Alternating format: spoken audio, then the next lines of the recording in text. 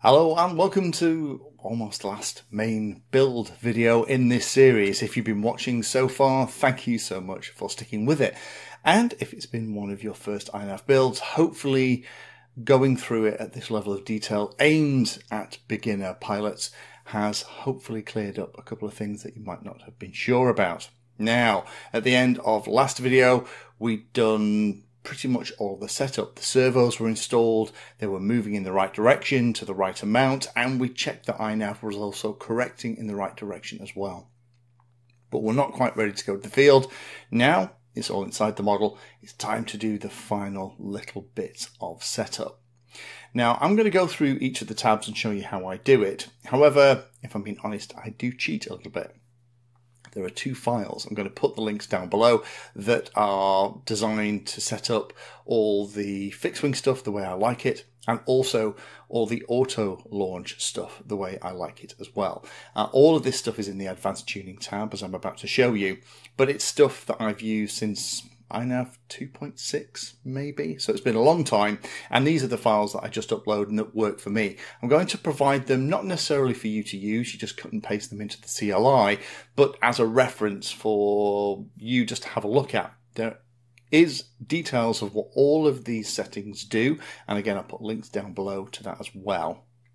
But for this setup, I'm going to go through and just do the basics. So at the end of this, we're ready to go to the field and actually maiden this model and get it all dialed in and actually flying.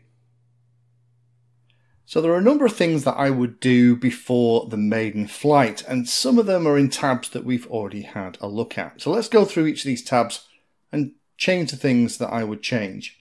Calibration we've already done. We did that when we are setting the board up, so we're all good for that. Mixer we've set up and we've tested, so we now know that that is all working properly. All the control surfaces are not only moving in the right direction, but they are also being compensated for in the right direction.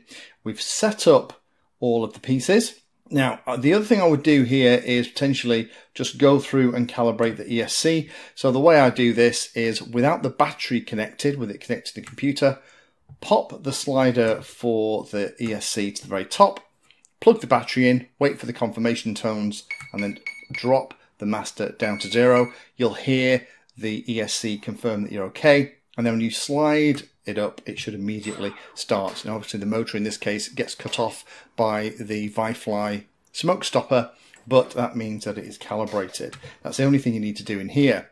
Nothing to do in ports. Configuration, I just come in here and make sure you've got everything set the way you want. For initial flight, I wouldn't worry about the battery settings. That's handy for the on-screen display to let you know when things are coming towards the end of their use. But for the maiden, we can ignore that. The only thing I'll make sure you've got on here, stop motors on the th low throttle, very handy for a plane so you can glide it. Then I'd also do permanently enable launch mode, we did that originally, confirm that's still on, and continuously trim servos on fixed wing. Once you've got a couple of flights under your belt and you're happy and you can switch into manual mode or acro and it flies beautifully, then you can turn this off. It's no longer needed. But what this does is it means that as you're flying along, then the iNav system is working out what the control surfaces need to be to fly straight and level. This kind of stuff that you'd normally do on the radio trims, you do it, this is done automatically for you here. Let's make sure failsafe is set for return to home, that's the whole point. PID tuning, I wouldn't do too much in here. The default settings for iNav are pretty good, and the auto tune as part of the Maiden is going to help with that. The only thing that might be worthwhile doing here is there are things like the max, maximum roll and pitch angle. I tend to like these a little bit more. Uh, this only really affects you, to be honest, in things like angle mode, horizon, it kind of plays a small part too as well. But I would increase those. It just means that you can do tighter turns, um, which can help if, when particularly in a maiden, if you get into trouble.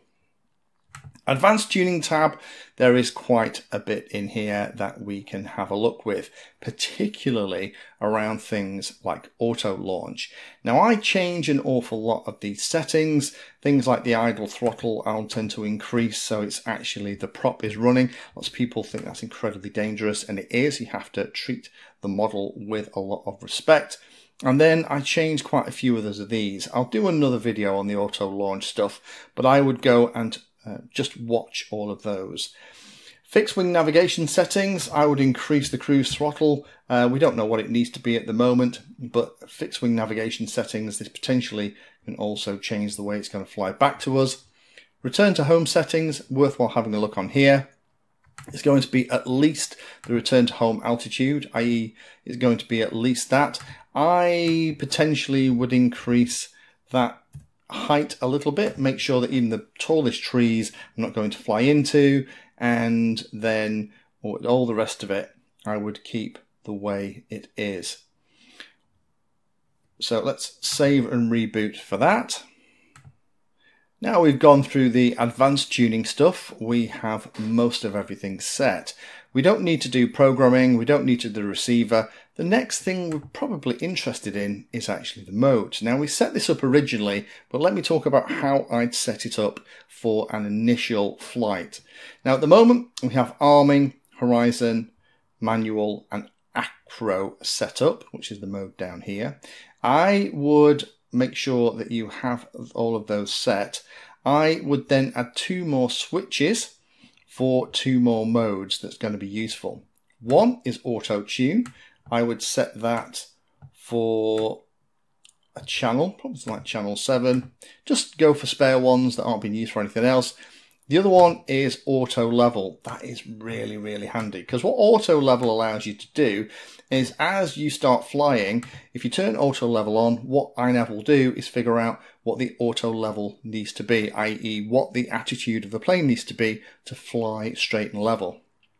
It is incredibly useful because once you've done that, then also all the servos can be trimmed to give you that same attitude as well in manual mode.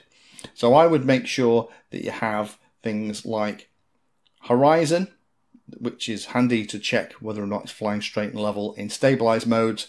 Always have manual. That means that in the event of something going horribly wrong, you can put it back into manual and fly it back yourself. And then acro, where no mode is set, is needed for you to go through the auto tune stuff. And I'll show you the process I go through in the Maiden in the next video. Now we're getting into good shape here. Not a lot of other things need to be changed. The on-screen display needs to uh, be set up for the way that you want it. I'm running the DJI stuff in here. So the way I have this connected out of the back of the DJI unit, there are four cables two of which I'm using with the FPV controller go into the flight controller in the S-Bus input. That's what I'm going to use instead of the controller we've set up so far. And the other two go in trans transmit and receive pins, which are going to be set for the on-screen display. But this is roughly how I want it all laid out. Do make sure that you're using the right units. There are different ones now, and in iNav 5, the units that you're setting here kind of set the unit for the whole system. Now, apart from that, we're in really good shape. What I'd do is go into CLI. I would go and say diff all, and I would save that to a file. Keep that somewhere handy. It's a great reference. The other thing then I would do is then go outside in the back garden, again without the prop turned, uh, prop installed, and then just let it sit, get a GPS lock and make sure that when you flick the arming switch, it actually arms and you have control over the throttle. If it doesn't, then come back in here and make sure and think uh, that all of this stuff on the right hand side is nice and green. Now this is red at the moment because and there's hardware else has gone red as well because at the moment the GPS isn't powered because I'm not powering it via the battery. So that is why those two are red. Everything has to be green here. So plug it in and check that that is the case. Most often it's going to be the lack of a GPS lock. A GPS when it's brand new can take quite a while to lock up. It can take five or six minutes when it's very, very new. So again, I would do that. Just let it sit in the back garden. Just run it off a battery and just let it get a GPS lock. And then when it's happy, then we can go to the field. So by this point, we know we can arm it. Hopefully, we know everything's done. We have gone through all of the individual settings. We are in a really great place and we're finally ready to charge the battery and go to the field. So we're about to come to the really exciting bit. We're about to go to the field. Next time I see you in this series, I'm hopefully going to be stood in a field with this model we're going to fly it. Now there is a very defined process that I go through. I've talked about this and I will talk about it much more in the maiden video, but let me very, very quickly just cover it here. First of all, at the field, I check that all the control surfaces are still working in the right direction. The central gravity is in the right spot. Usual pre-checks that things like the prop nut is tight and then wait for the GPS to get a lock. Once it's got a lock, then I'll arm it. I will throw the model in auto launch. That's the way that I tend to do it here. It'll go into auto launch as soon as I move the sticks on the radio, then it'll drop back into the first of the modes, which is horizon. That's going to be self level.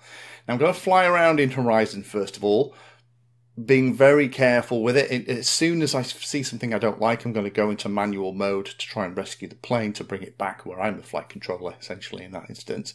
I'm going to fly around in Horizon. Once I'm happy that Horizon is working okay, I'm going to then try and fly straight and level. So best doing a maiden in calm weather.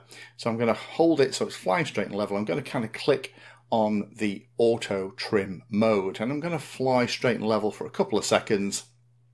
And then once I'm happy, I'm going to turn auto trim off and then see if it then flies without losing or gaining altitude. We guessed at how much nose up the model needs. We set that earlier on in the series, and auto trim is going to adjust that by figuring it out. Uh, it might be spot on first time. I might need to do that process a couple of times.